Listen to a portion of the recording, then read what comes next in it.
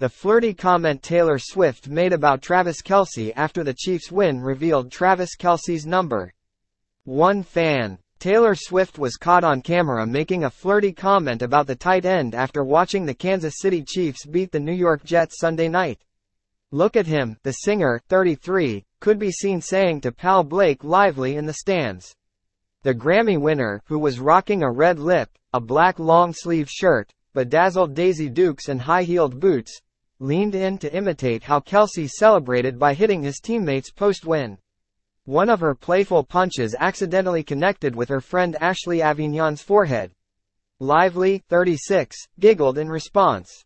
Social media users gushed about the quick clip over the weekend. She is smitten as a kitten catface heart, one fan wrote via Instagram, while another added, she literally can't believe she's with the hottest athlete.